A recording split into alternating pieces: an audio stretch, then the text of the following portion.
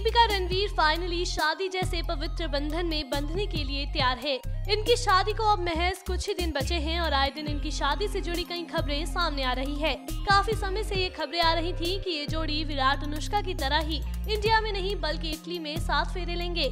लेकिन इस खबर पर पक्की मोहर तब लग गई जब हाल ही में दीपिका रणवीर और उनके परिवार को मुंबई एयरपोर्ट पर स्पॉट किया गया। जी हाँ वहीं अगर बात की जाए कि ये दोनों इटली में कहाँ शादी करने वाले हैं तो आपको बता दें 14-15 नवंबर को लेक कॉमो के विला दे बालबिनेलो में ये प्यारी सी जोड़ी सात फेरे लेने वाली है। ये वेन्यू इटली के मिलान से करीब 84 किलोमीटर दूर कोमो शहर में होगी। आपको बता दें, शादी जिस विला में होने वाली है, वो एक हेरिटेज विला है। लेक कोमो के बर्फीले पहाड़ इस जगह पर चार चाँद लगा देते हैं। वहीं इस जगह पर कई हॉलीवुड फ़िल्मों की शूटिंग भी हुई है, और ये जगह काफ़ी रोमांटिक मानी जाती है।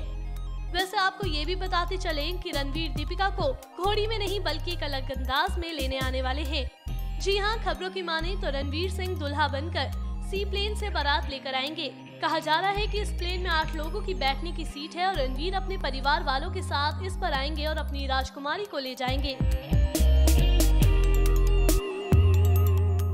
अब हमें तो दीपिका रणवीर की शादी का वेन्यू काफ़ी आलीशान लगा। आपको कैसा लगा हमें कमेंट करके ज़रूर बताएँ।